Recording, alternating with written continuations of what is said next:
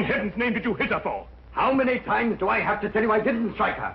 I never harmed her. She has a broken arm, hasn't she? Maybe so, but it has nothing to do with me. You're finished. You know that. I am not finished. Confound it, man. My whole career is thrown into this election. Well, what do you propose to do? Pay her the money she asks? Two thousand pounds? Don't be ridiculous. Now listen to me, Jeffrey. The party's depending on your seat in the Commons. If that woman makes a public statement that you attacked her and broke her arm, you'll be lucky if you get one vote. And it makes no difference that I happen to be innocent. Not a whit. In your position, an accusation is just as damaging as a conviction. You've got to withdraw. No. Very well. I'll do it for you. I'm going to fight for my very life. I know someone who might help me, even if you won't. You've got three days to clear this matter up or get out. On Sunday evening, I'm going to make a statement, one way or the other. I thought you were my campaign manager. Not my accuser. Three days, remember. Marriage Bureau. Idiot. So I went to a marriage bureau. She seemed a very charming sort of woman, cultured and good background and all that. Yes, but a, a marriage bureau? Yes, I've lived in the country for a long time now. I just never seem to meet any woman except the most ineligible and unattractive ones. I've been lonely these past few years since my wife died. This bureau seemed reasonable enough. After all, they promised to introduce you to ladies of cultural and intellectual backgrounds similar to your own. But they didn't um, mention blackmail. Two thousand pounds, you say? An impossible sum. Even if I were guilty, which I'm not. My whole career is at stake, Mr. Holmes. I think it might be a good idea to have a look into this marriage bureau. Don't you agree, Watson? Yes, I'd say so. I simply can't believe Mr. Oliver, he's the proprietor, could be involved in this. And you say you have three days to pay or disprove the accusation, eh? Yes, Mr. Holmes. It's not very long, I know. Hmm. And it isn't getting any longer. I suggest that Dr. Watson and I start our investigations immediately. Ah.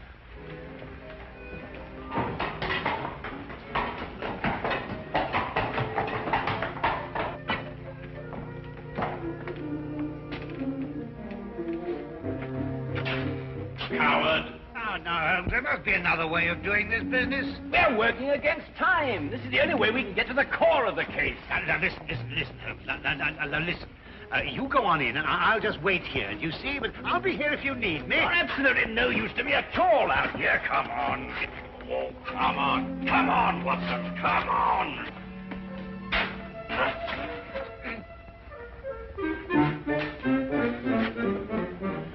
Afternoon, Constable. Beautiful weather we're having, eh?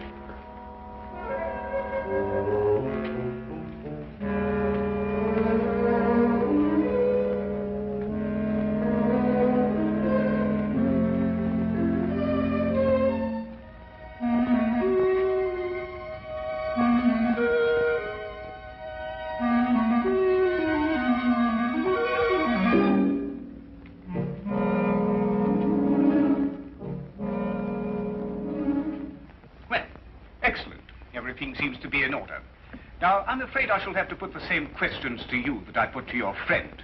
I realize they're rather personal, but it's the only way we can be certain that all clients are protected and properly matched. Yes, right, quite. I can understand that. Now, about your financial situation.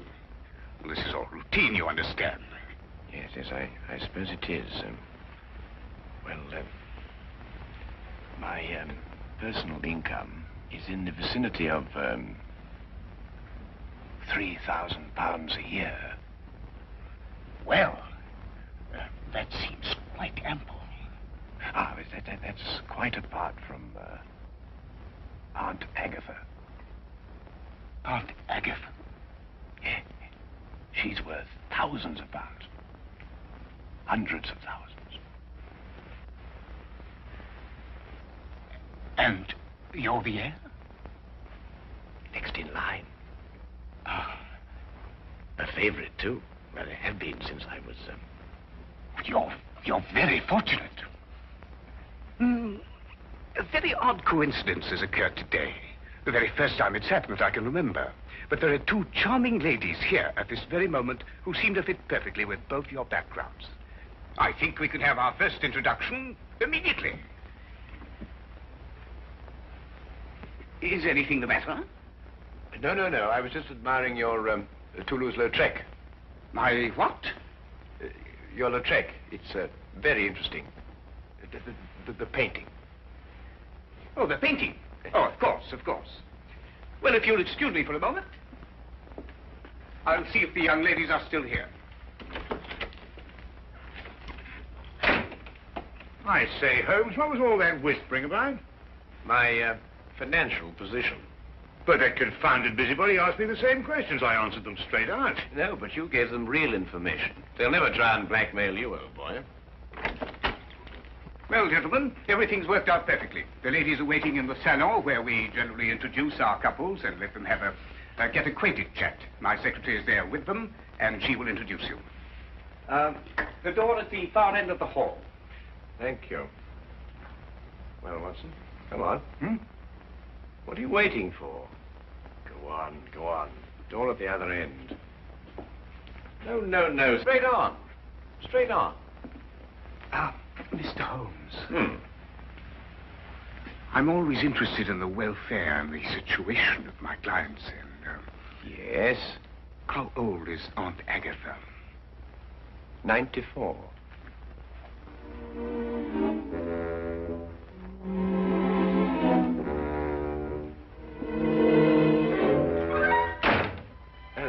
Me, uh, Miss, uh, Miss, um, Pamela.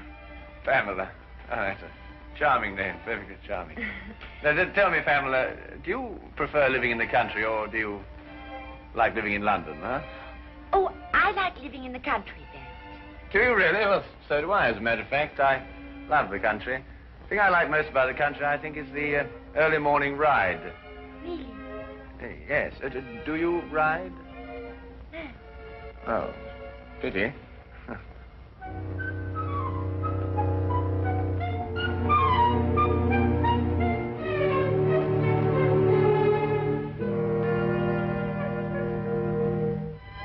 Not really. You've never really been to Paris?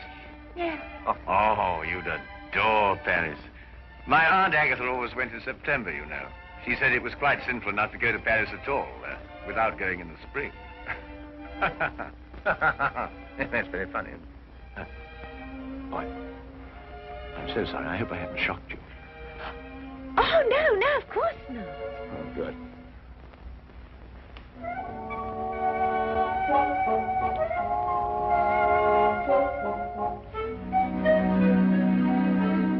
And uh, Sir Charles was furious, of course. Well, he hates to lose a wager. But did he pay you the, the 500 pounds? Oh, of course, on the spot. Why wouldn't he? Why don't you say something? You have very pretty eyes. Oh, you're a romantic one. oh.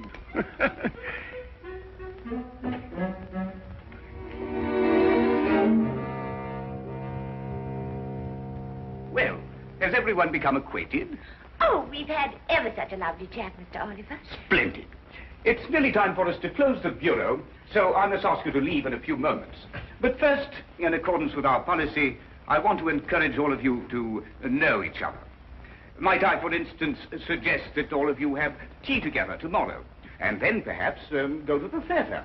That is, of course, if it suits everyone's convenience. Oh, that would be lovely. Oh, yes, let's. Oh, yes, perfectly delightful. Excellent.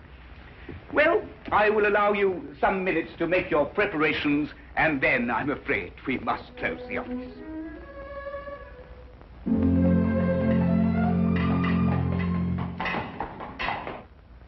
Well, I've seen it through, Holmes.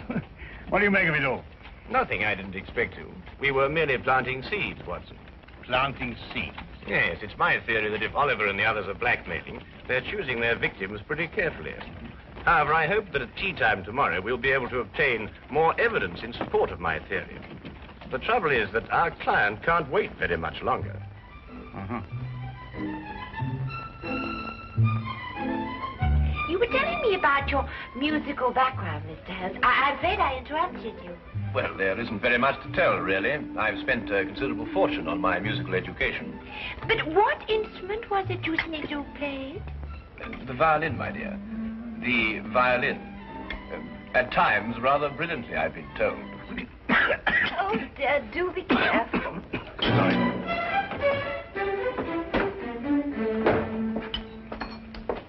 Followed you this time. Oh, Charlie. Oh, no, Charlie. I beg your pardon. Oh, Oh, no, don't. Don't. Stay out of it. Don't. Don't. Oh, Wait a minute. So, you're the one. oh, oh Charlie. What have you done to him? The police! Somebody get the police! He's my husband. This man, this one here. I saw what he did, ma'am. You better not try any more tricks, mister. The police will soon settle you. But this is outrageous. You don't understand. But it's true, it's true. They're married. And he was trying to break them up. I know his type. In here, Constable. There's your man. Holmes, Holmes, why don't you say something? You can't let a thing like this happen to you. We've fallen very neatly into their trap. Don't you agree, Watson?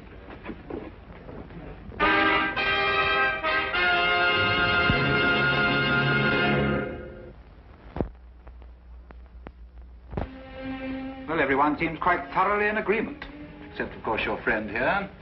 These other witnesses are in full accord, and the testimony of the proprietress of the tea shop supports them. But, Inspector, this is absolutely outrageous. Where's Inspector Lestrade? He'll speak for Mr. Holmes. Inspector Lestrade? I'm sorry, it isn't Inspector Lestrade's case. Well, I think we have everything we need now. We all go. Except, of course, Mr. Holmes. He's under arrest.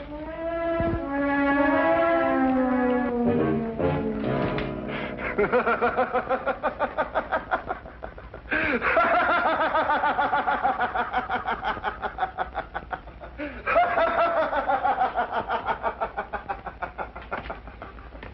oh, my life I waited for something like this.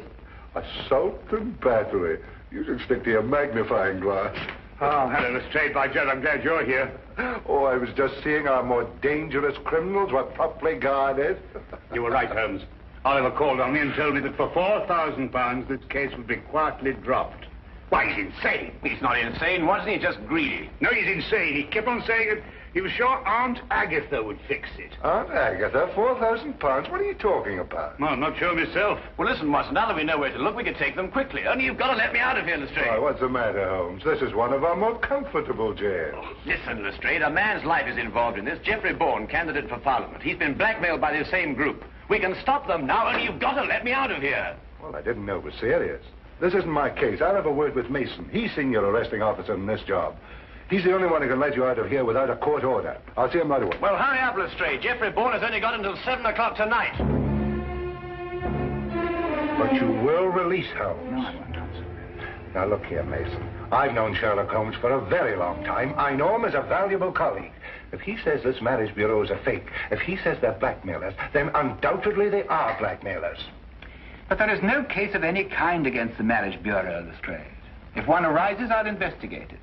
But I will not jeopardize my position by taking such a step without cause. As for Mr. Holmes, he has been formally accused, and the number of witnesses more than justify an arrest.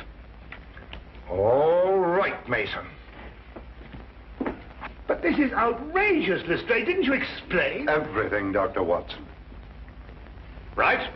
I'll handle this case myself. You, Dr. Watson? Unless you care to come in and help me. Well, I'll do what I can, of Look, course. Watson, there's only one thing to do. You must break into Oliver's office, go through his private files and everything. There must be further evidence of their activities. Right. Break him? That's against the law. Look, maybe I could get a search warrant. Oh, how soon, Lestrade? Oh, it's a pity this is Sunday. Certainly ah. not before Monday. Not with Mason here. Yes, but look, Jeffrey, Jeffrey Bourne only has until 7 o'clock. Yes, but breaking and entering, that's a crime. Have you any idea what the penalty is for that? Yes, if I remember correctly, Thank you very much, Holmes. I'd rather not know. Excuse me.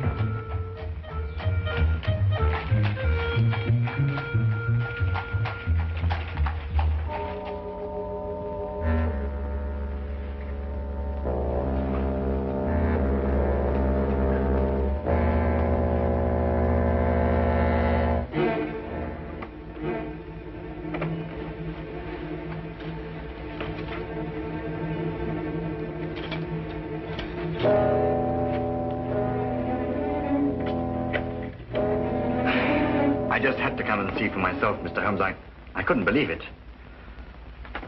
Oh, well, I suppose I'd better tell George to get it over with. Well, don't be hasty, Mr. Bourne. Dr. Watson's working on the case with all his energy at this very moment.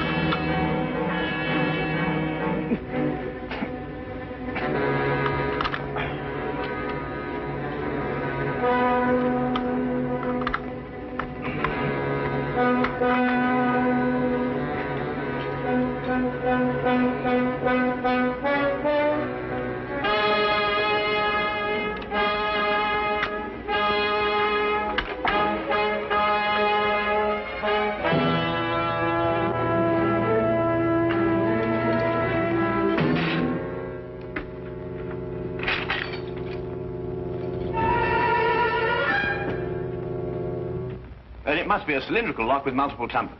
And that's quite a different story. Each of the tumblers operates at a different height. It's an absolutely tremendous task, Watson. Well, what are we going to do? Well, there's only one thing for it. Smash the lock, of course. Why, of course. Smash the lock. Lestrade, if you had blackmail records to keep, and they might be dangerous, where would you hide them? Uh, let me see. Well, blackmail's liable to turn into a running game at any time. I suppose you want them to be portable. That's good. That's perfect. I want you to go after Dr. Watson immediately. To the office? I couldn't. Tell him to ignore the files. Tell him to take all the paintings down off the walls, open the backs, and tear them apart if necessary. Paintings? Yes, Oliver's office has one wall covered with paintings, mostly Lautrec, and he hadn't even heard of him. Well, neither have I. Oh, go on, hurry, Lestrade. Go on.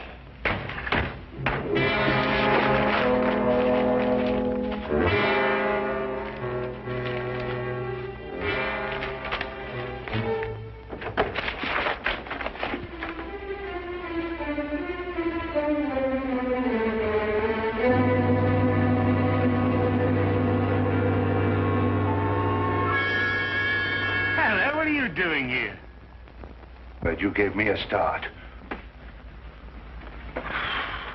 I gave you a start. Look, Holmes says not to bother any more about the files.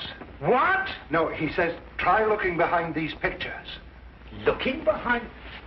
Here, you try that. Nonsense.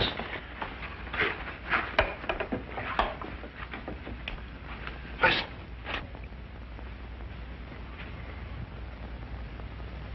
Oh, really, Lestrade. This is nerve-wracking enough without you beginning to hear things.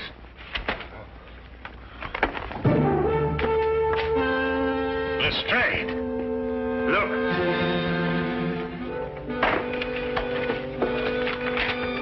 That's it.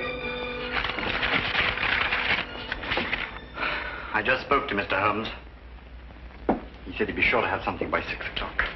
I hope so, Jeff, for your sake.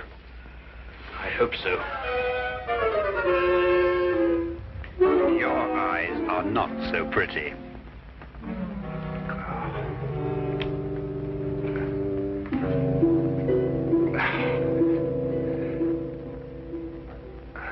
I told you I heard something. Quiet. Who's been in the... Oh, good work. His. Who's he? Scotland Yard. Scotland Yard, eh? What are you doing here? Well, I, uh, I, I, I... Oliver, you interfere with a national election, for one thing. We've got to clean up those files. We'll take care of them later. Edna, listen to what I'm telling you and see if you can do it right. Stand right here, and if either of them makes a move, scream. Can you do that? Yes, Mr. Oliver. Good. She's awfully stupid, but she can scream.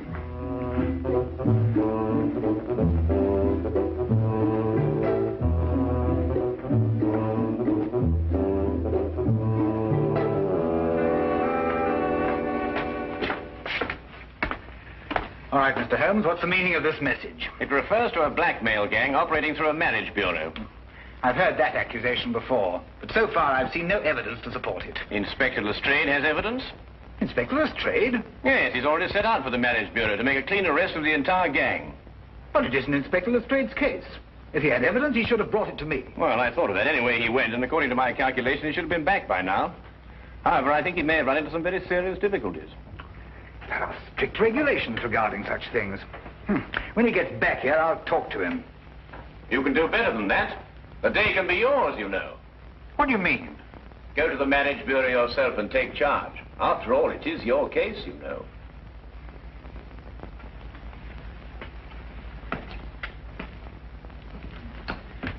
Order a squad of men to get ready. Have them meet me at the side entrance in five minutes.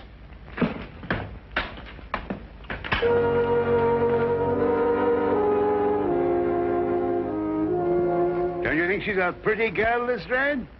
What? You know, Lestrade, I'm so surprised that any girl who's so lovely and so intelligent could be kicked around by a cad like Oliver. Do you really think I'm pretty? Oh, oh yes, I, I, from the very first moment I saw you. Uh, Yes, I... Oh, wouldn't you like to sit down? You must be tired standing. yes. Yeah. you, uh, you, Yes? you have the most lovely hair. Oh. Really, it's. Uh, I, I wonder. My hands are awfully uncomfortable. If you could be a dear and ease them a little, could you? oh, something amusing? I know I'm stupid, but not that stupid.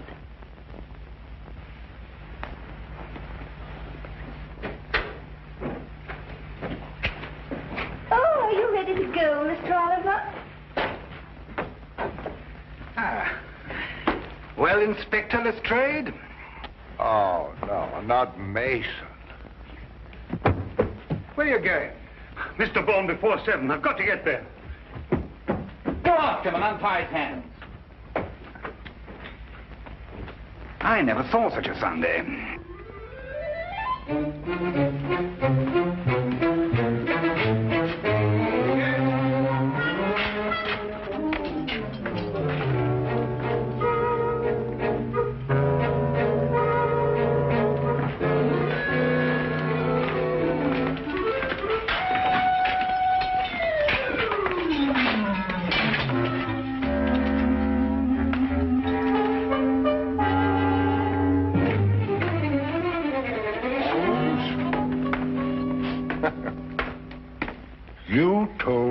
Inspector Mason. I, I know, Lestrade, but I had to get you out of there somehow. I was better off as I was. Well, I considered that, but uh, despite the injury to your pride, you know, uh, it's best that way. I know nothing of the kind. It was only a matter of a few moments before Dr. Watson and I had the situation completely under control. Well, you must tell me the story. In the meantime, uh, now that the criminals have been arrested, please let me out of here.